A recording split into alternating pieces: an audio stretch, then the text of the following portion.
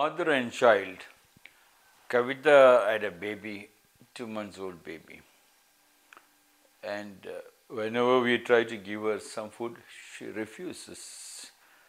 She freaks out a lot before the baby. She can eat anything, everything, jolly girl. But after that, I asked why. She said, anything I eat, it affects the child.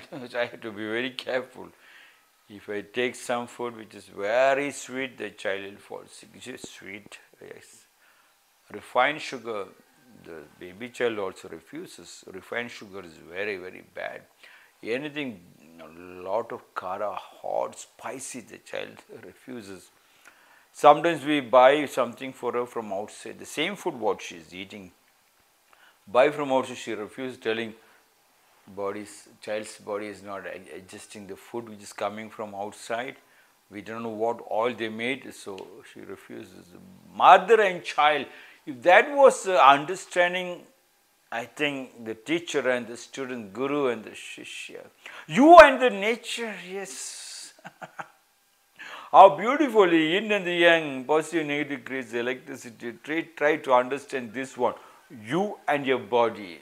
The moment you don't do your exercise, your brain, your eyes, your hearing, your smell, nothing works, nothing coordinates. When you give flexibility on a regular basis, that is practicing your samskriti. What is practicing your samskriti? Your culture. What is your culture? Morning when you get up, yes.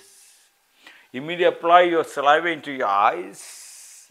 Drink the water before you brush your teeth. When you drink, you chew and drink.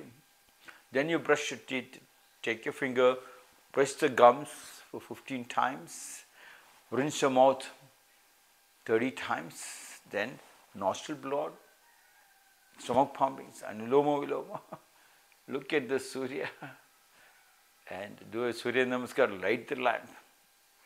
Sing a bhajan morning. The whole body is energized. yin and the yang. Look at the mother and the baby, how careful she was to make sure that the baby grows with understanding the mother's love, mother's food also.